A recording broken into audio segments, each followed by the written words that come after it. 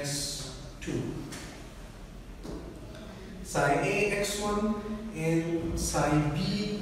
This one is x1 because we will first consider this one psi b x1 and then it will be multiplied with psi b x2 and psi a x2 psi b x2 and psi a x2 psi a x2 and then it will have dx1 with it and dx2 with it. Psi a x2 plus plus another double integral.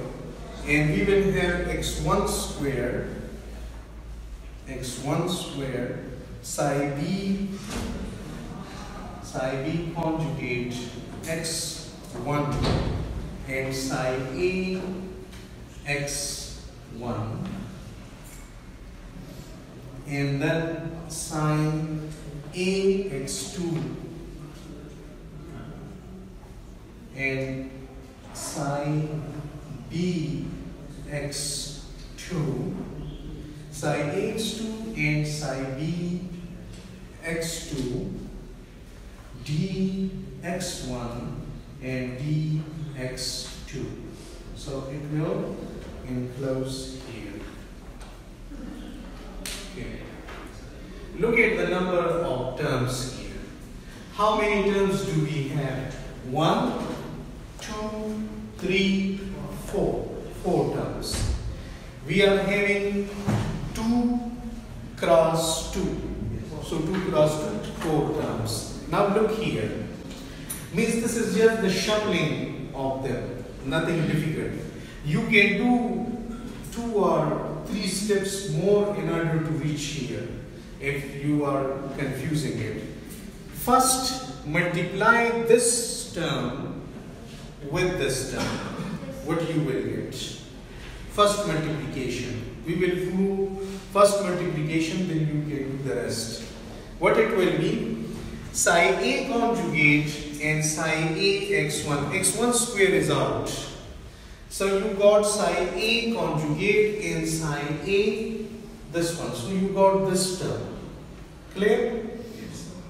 it is psi a with this then you are having psi b x2 and here you are having psi b x2 so it means it will become psi b x2 mod square and you will multiply dx1 and dx2 then you multiply this term with this term. So you will have psi b mod square psi a mod square. Clear? And dx1 dx2 then you multiply this term with this term. And this term with this term so you will have the cross 2 multiplication these one. Clear? Yes. okay. As you are done with this one now look here. What will be this one? I can I can do an additional step but can solve this one directly as well. If you like me to do or if you want I can do another step here clarify this one. This is equal to half in integral okay integral then I can write x1 square and psi a x1 mod square dx1 and integral psi b x2 mod square dx2 can I write like this. Just split it then means the variables. Dx1 and dx2 similarly I can write the half and then integral x1 square psi b x1 mod square and dx1 from this variable and integral psi a mod square dx2 and further I can write plus with this one. Okay x1 squared and x this is integral x1 squared psi a x1 psi a x1 and psi b x2 okay from here if I take psi a x1 then I am having psi a x2 here clear? A means this is x1 so I will have to write dx1 with it. So I will combine all the x1 so what it will be? It will be psi b x1 dx1 and then it will have in multiplication. In multiplication yes 1 by 2 will also come here it will have in multiplication with this.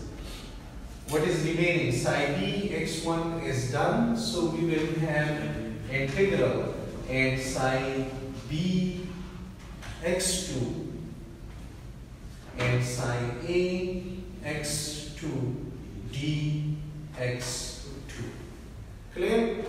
This term is done and now I come here to this term plus another half an integral.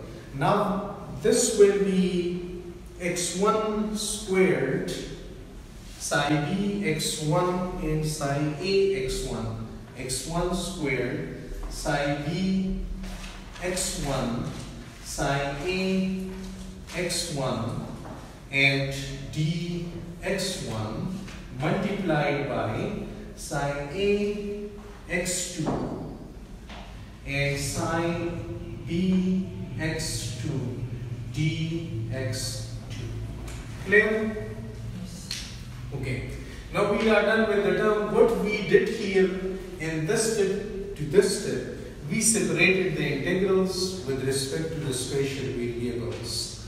And now I know that what is actually this term. What is this term? This term is actually x1 squared and this is in state A. And what about this term? This is going to 1 because psi b they are orthonormal functions. They are mods, they are normalized. This is equal to 1. If I come here, then this is actually the x1 value, but it is in the b stage. Okay. So this is x1, the x square value, but in the b stage And this one is equal to 1. When I come here to this one, then this one is multiplied with this. And what is the result of this one? Psi b into psi a. This is equal to 0.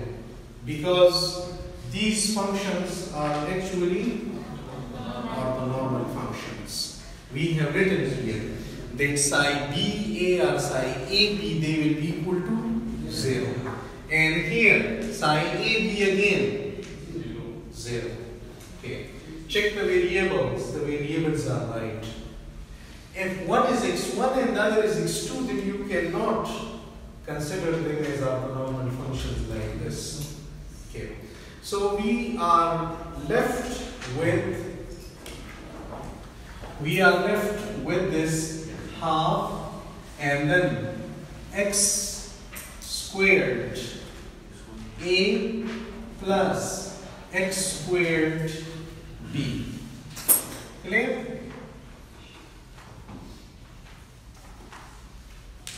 This multiplication which we started with x1 square for the identical bosons, we got the result like this. Look here. When the particles were identical, when the particles were distinguishable particles, x1 square came out to be just a single state. Because over there we can recognize which particle is which one. And here we cannot recognize. So it's a kind of overlap here. Clear? And similarly, when we find the other values, the other values will be, this one is for x1 square. The other values like x2 square, because we will have to put our values like this, means we will have to find x1 square, we will have to find x2 square and x1 and x2 uh, combined expectation value as well. And then this x2 square will be equal to half. You can practice this one, you can find this one. And this will come out from the symmetry of this will come out to be x square a plus x square b. Means it makes no difference. For x2 it will come out x square b plus x square a. So whichever term you write first, there is no problem with this one. So we have found x1 square and we have found x2 square. And now it's the turn to find out x1, x2 expectation value. Right? So start with this expectation value, x1, x2, and this is equal to half double integral and x1, x2 psi plus x1, x2 mod square and dx1, dx2. And now we will have to put the psi plus value from there and the mod square we will have to expand that one. But we can take help from here. Means we have already expanded this term. So I will now write uh, directly now that this thing is equal to uh, a bit more calculations but it is easy. I can write that this is x1 when I write integral x1 and psi a x1 and mod square. And this will be with dx1 it will be multiplied with psi with x2 because x1 x2 are multiplied. So I am now separating the variables dx1 here and now dx2 will come here and psi b x2 mod square and dx2 plus now the second term will be x1 and integral x1 and psi b x1 mod square dx1. Now, what about the psi A? So I have written this one and then this term. I wrote this one and now I will write for the x2 and this is x2 psi A x2 and psi A x2 mod square dx2. So this way I wrote the second term is just separating their variables as well. You can look from there to these and plus plus the bracket continues here plus x1 and psi A x1 conjugate psi B x1 d x1 and x2 and psi b x2 psi a x2 and dx2. Now these are the cross terms, psi A and psi B, first with x1 and then with x2 and plus, plus the next term will be x1 and look at the symmetry, it will be psi B x1 psi A x1 dx1 integral x2 psi a x2 psi b x2 d x2 and bracket bracket plus. So the same multiplication here is well. But the difference is that over there we are having x1 only or x2 only. Here we are having x1 and x2 both. And now you will recognize some terms here.